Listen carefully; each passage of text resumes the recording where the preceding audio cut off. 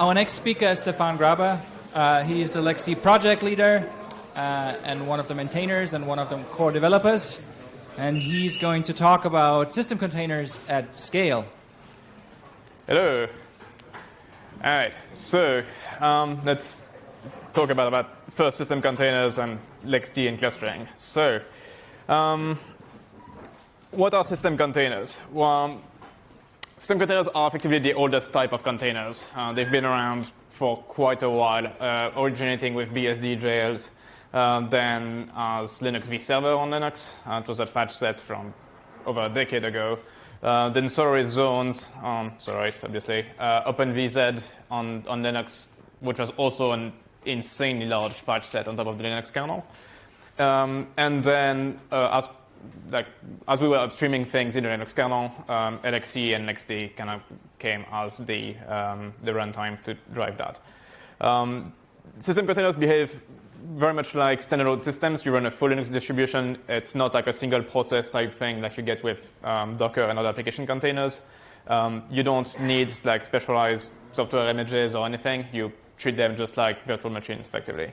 Um, they're very low overhead, easy to manage. You can run thousands of them on systems. There is no vert overhead with like you know, that, that, just take up physical resources. There's no need for hardware accelerated or anything.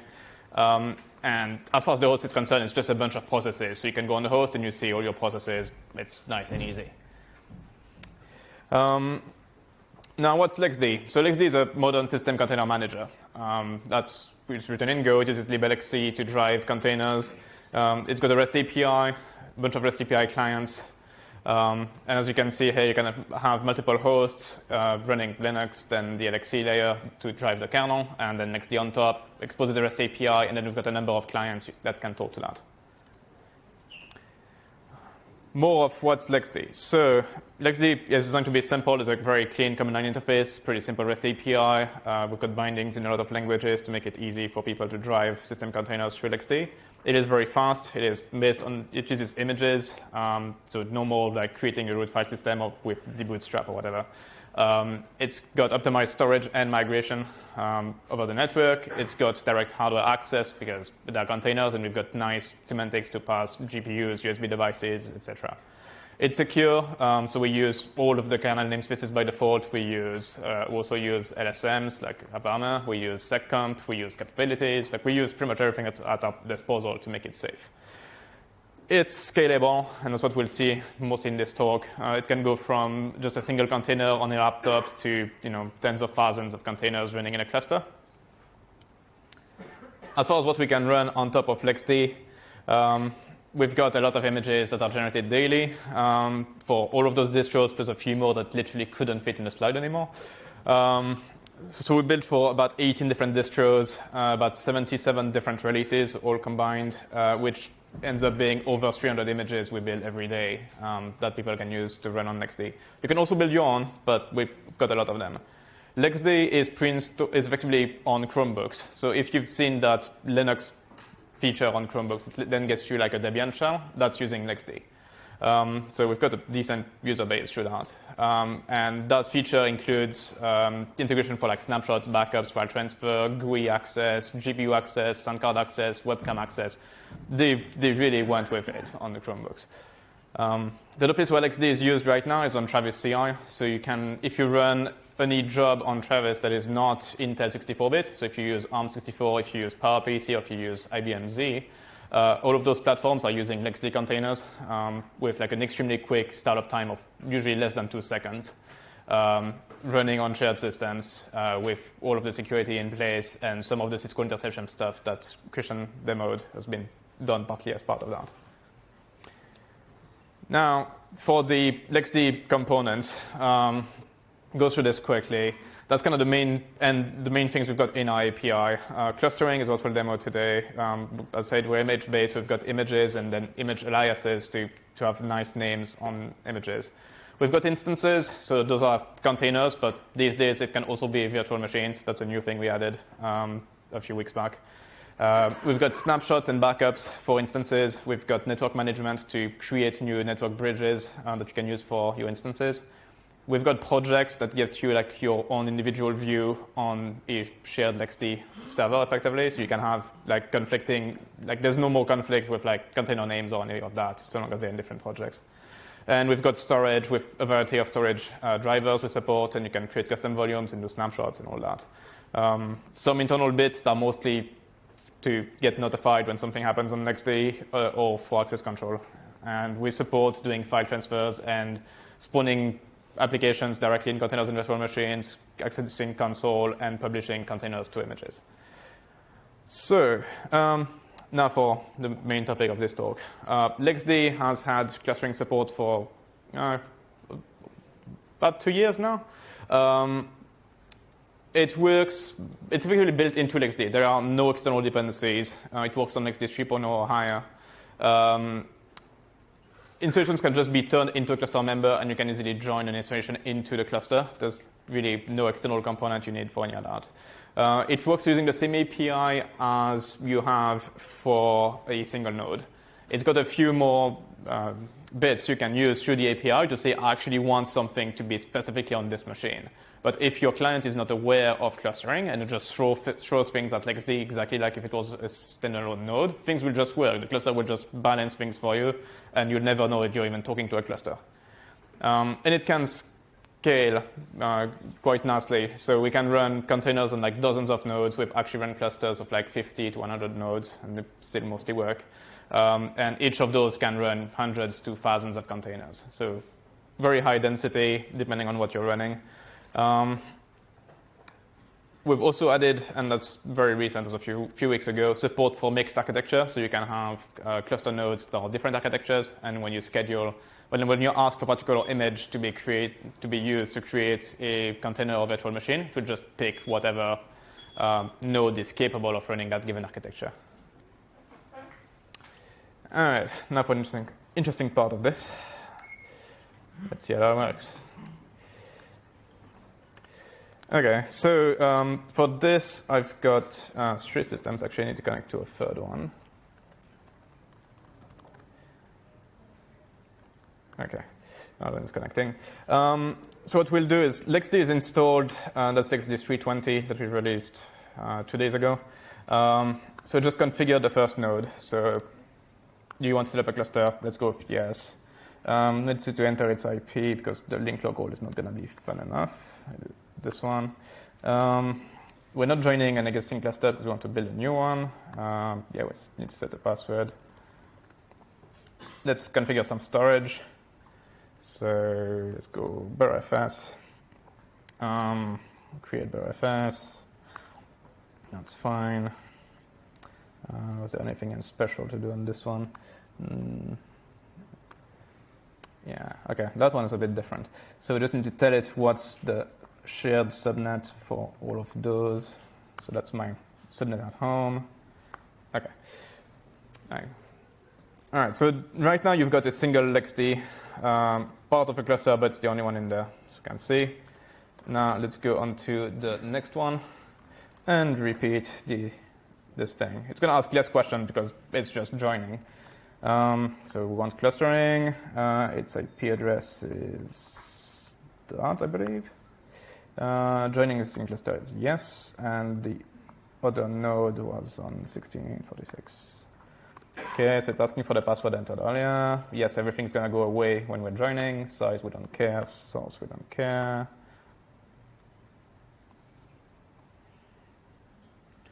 Come on. Okay, so now we're joined.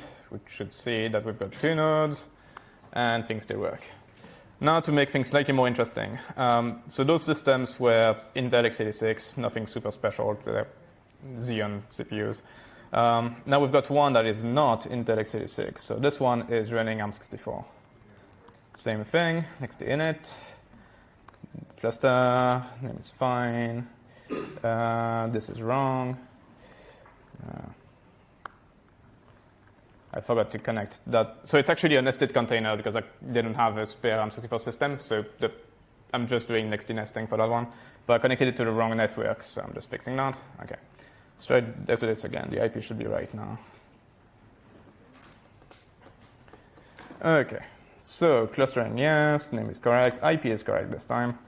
Um, joining existing cluster yes, uh, and we said it's 1646. Um, cluster password, yes, we're cool with that. Size, I don't care. Um, because it's a nested container, it can't create a loop device, so I need to actually tell it where the storage is, and that should be the end of that.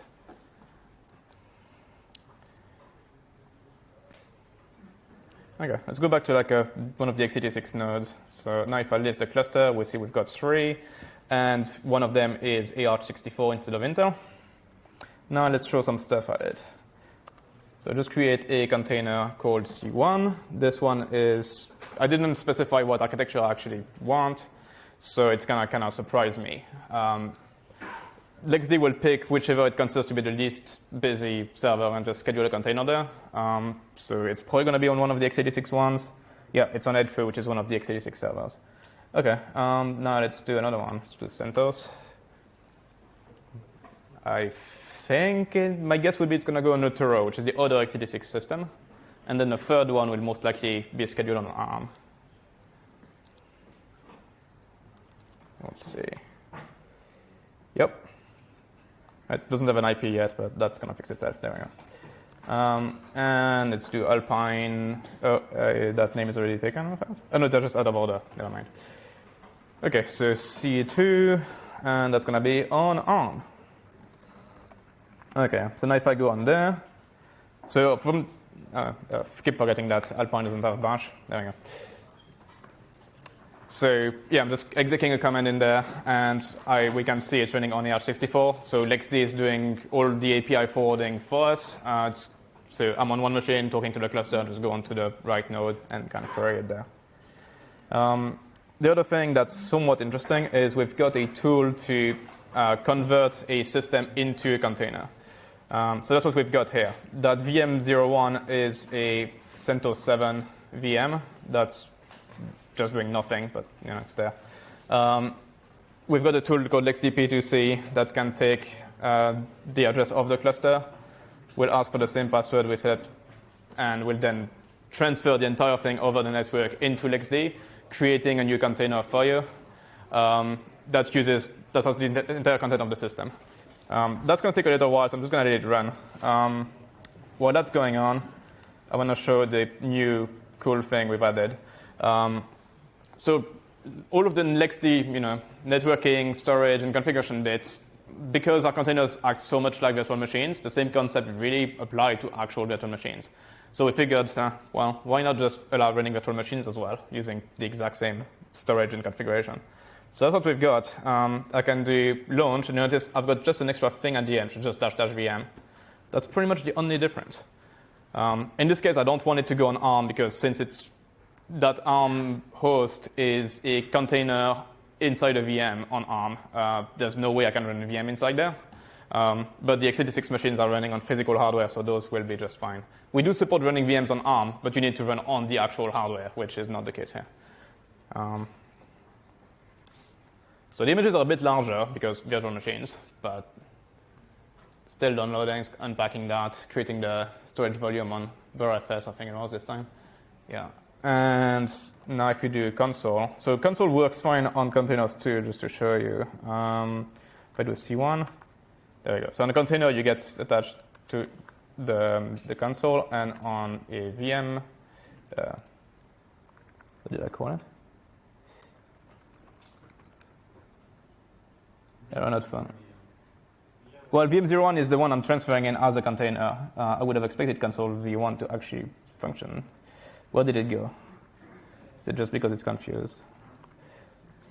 I swear that worked on yeah. Oh, okay, never mind. All right, so that's a bit picky. Um, so we see the same thing, the VM was booting. I touched a bit late. Um, uh, let's just go back to this guy here. Uh, we can just launch a second one of them. Let's see if this one behaves properly. Creating V2, come on. You can do it.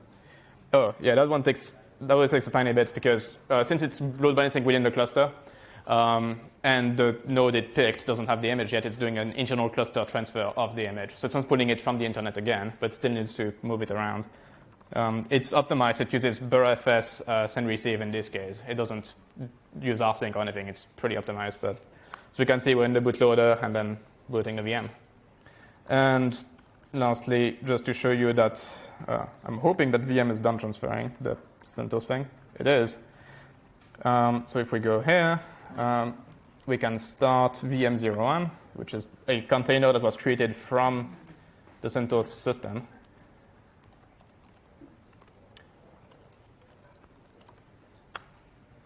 And there we go.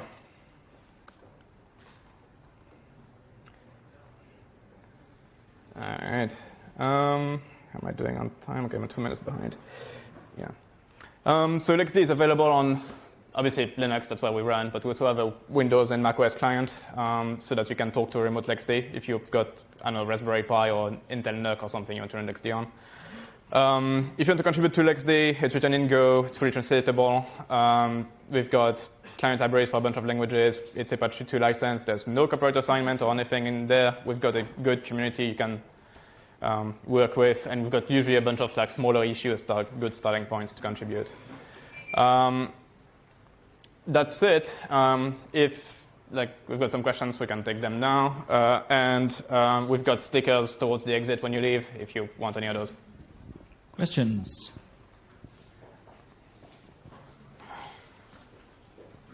Sorry for speaking so fast, but it turns out 20 minutes is pretty short. Thank you very much. Um, two quick questions. What do you think about running Kubernetes inside LXD containers, LXC containers here? Yeah, so we've got, uh, we, so yes, we can, do, we can do it either way around. Some people have been, you can run um, Kubernetes, especially things like API servers and stuff inside LXD containers, no problem. You can even run kubelet inside LXD containers because we support nesting and we support running Docker inside LXD containers. So that's possible, and people have done it before. And you can actually do it the other way around as well, where LXE uh, is a community project that implements a CRI um, for Kubernetes, then that then drives LXD containers. So you can kind of do, do it either way, um, but yeah, it's possible. Okay. And um, then question like, why Kata container uh, exist if LXD is secure? Why what? Why Kata container exist if, if LXD is secure like system containers? Like, uh, it's always so that depends on people. That depends what they trust. Uh, we've seen that hardware is not particularly safe either. Uh, some people think that relying on the Linux kernel for, for the entirety of the security story is quite fine. Some people think that VMs are the only option. Some people think that you need both. Um, in fact, like on Chromebooks, Google is on purpose using both. So they're using a virtual machine layer and then running only unprivileged containers inside there. So that if the kernel is busted, you're still in a VM. If the VM is busted, you're still an unprivileged user in a user namespace. Um, because we've seen exploits against both in the past. Um, recently, we've actually seen more CVEs and security issues around both the hardware bits of virtualization and some of the hypervisor stuff than we have against the Linux kernel as far as escape of containers. Um, but I mean, there's always a risk, and that's kind of up to you what's, what's fine with you, what's not. Uh, combining both is also the slowest option, but it's there, and some people have done it. Okay. Two short questions. Uh, first, uh, do you support uh, for, uh, foreign containers on the host? I mean, uh, running ARM containers on x64 64 or something like this. Sorry, I'm not. I'm not that's the question. Foreign containers. Oh, uh, yeah, okay. So you, uh, architecture emulation on the system, effectively. Mm-hmm. So like ARM on x86. Yeah. Uh, so we did that in the past. I did implement support for that in LXC almost, I don't know, five, six, seven years ago using QEMU user static. It is possible. It is not pleasant, and it's not something we want to ever have to support again. Um, the main issue being that the QEMU user static la- uh, layer um, cannot handle properly threads or netlink and some other things like that. So you, we had to do a very, very weird container where most of the binaries were indeed ARM, but the init system and the network tools were x86, which works, but is really, really weird. And as soon as you run, start doing like updates and stuff against those containers, just quickly get into a really weird state. Uh, so not something we're particularly keen on revisit, revisiting at this point.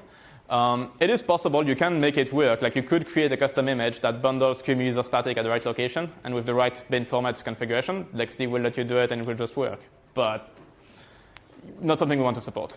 Actually, I do just a bind of uh, host system. It works. Uh, want to see a native uh, implementation. But uh, anyway, and second uh, question, uh, you talk about uh, clustering. What about roaming clustering nodes? If you remove your notebook, for example, with a note somewhere else. Yeah, so that part is kind of tricky. So LXD has uh, my, uh, move support to move containers around. That works fine, but usually you want to stop them. Uh, if they're running, then you use CRIU that Adrian talked about earlier, um, which can work in some cases, but can also tends to fail with a lot of modern software. Um, as far as the storage bits, one thing that's interesting is that LXD does support Ceph as a storage driver. And so if your container is backed by Ceph, at least if a node goes down, you can always start it back, start the containers back up anywhere else you want because you, the data is on the network. So that's Okay. kind of what we have there. And I think we're out of time. Yep, we're out of time. Thanks very much. Thanks.